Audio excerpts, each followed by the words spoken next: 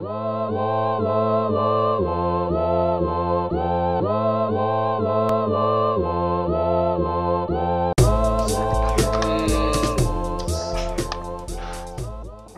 Alan Quigley. Ah, there you are there. I thought it was at the end. so, do you have speaker notes or anything? Or you, I don't.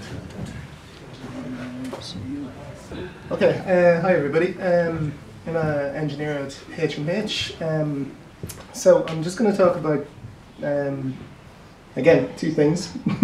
um, React and Re- or Redux and Reselect, and particularly about uh, normalizing your state in, in uh, Redux and uh, derived properties. But um, how do I move forward in this? Mm, Oh, okay. There we go.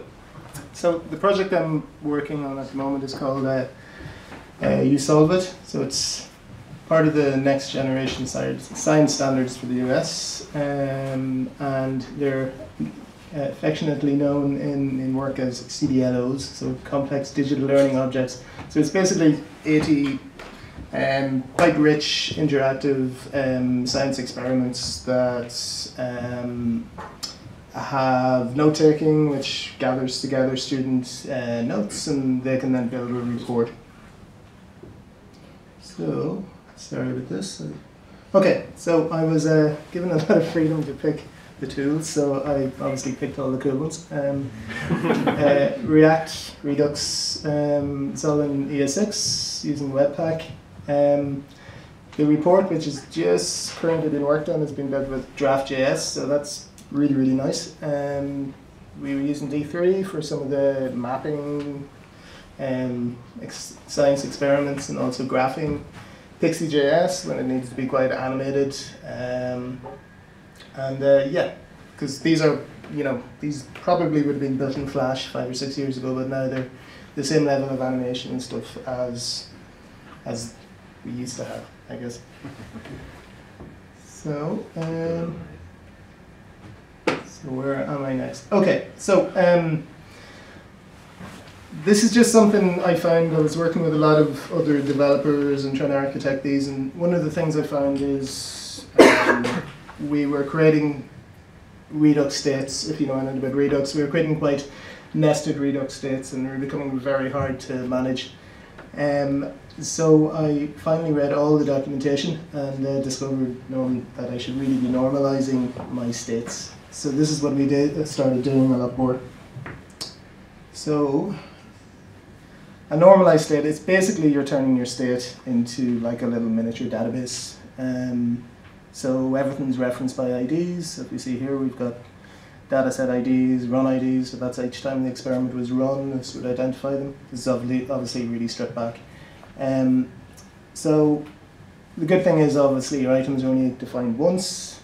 Um, reducers, if you've ever used Redux, are a nightmare if you have to nest them. They really just become really messy very quickly. Um, you have a consistent means of access, so everything's, you know, in my case, notes by ID, and you pass the ID of the object. Um, and by following this, you basically end up with a lot fewer uh, UI updates in React. Okay, sorry, a second.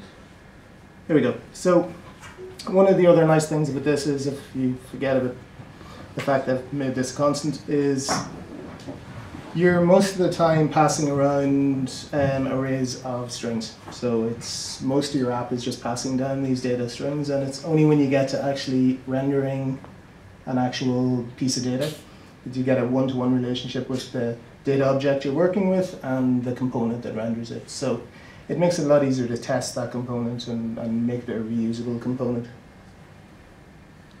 Okay, so? Okay, so all this led to one question with me, which was um, where do all your kind of the properties that you manage your state live? Um, and again, we when we started working with Redux, we started we were storing where you were, you know, like a property like a phase and what phase were you on as you move through the experiment. So what I found was again that was a bad idea because you were creating a lot of state. So we started using Reselect.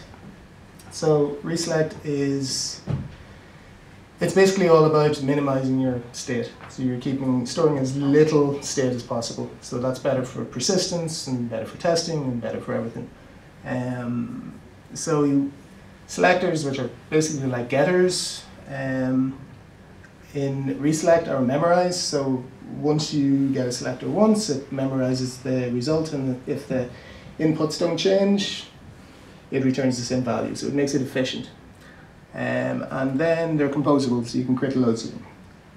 So, um, let me see, sorry about this. So essentially, within our app, um, what we started doing was we all of the navigational state, so where you were within the app, that was calculated by reselect functions. So none of that was persisted or none of that lived in the Redux state. It was all just calculated on the fly and, and, and returned from memorized functions.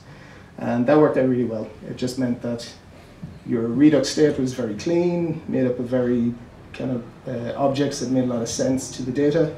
And uh, you could also ma- you could also visualize your state a lot easier, and you didn't get caught up in worrying about you know how all the UI components actually worked. You could just put them in. So that's mine. Is that five minutes? Or? Thank you.